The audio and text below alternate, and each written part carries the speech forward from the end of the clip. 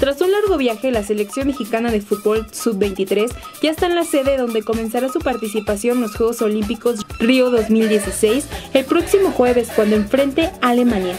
El director técnico de la selección mexicana sub-23, Raúl Gutiérrez, aseguró que cuenta con un equipo de calidad y experiencia, que ahora tiene el espíritu de reto y su ilusión es retener el título en los Juegos Olímpicos de Río. Soñar no cuesta nada, nosotros vamos con esa ilusión de quedar campeones y hay que ir a paso a paso. Pero es un grupo muy joven que tiene la calidad y la disposición de jugar bien, aseguró en entrevista después de asistir a la ceremonia oficial de abanderamiento de los deportistas olímpicos en la residencia oficial de Los Pinos.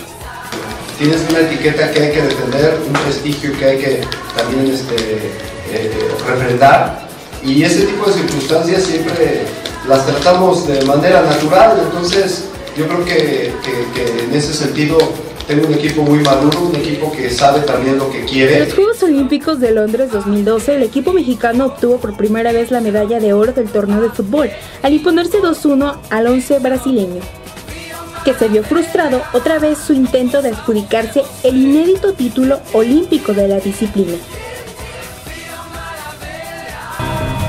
En, en, los entrenamientos a veces no salía tan bien y la verdad es que salió como si hasta los brasileños estuvieran entrenando con nosotros. ¡Te amo, Peralta! ¡Doy todo por ti, Peralta Cruz! ¡Tú eres el héroe de la película! ¡Yo te amo, Peralta, doctor García!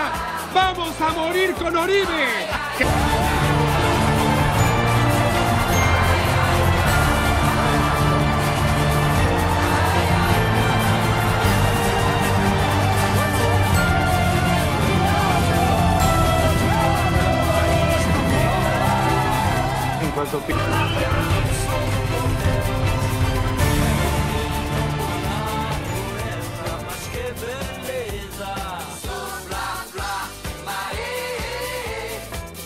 Su participación iniciará en Río de Janeiro el próximo 4 de agosto ante Alemania, para posteriormente enfrentarse ante Fiji y Corea del Sur, selecciones que conforman el grupo C del torneo de fútbol de Río 2016.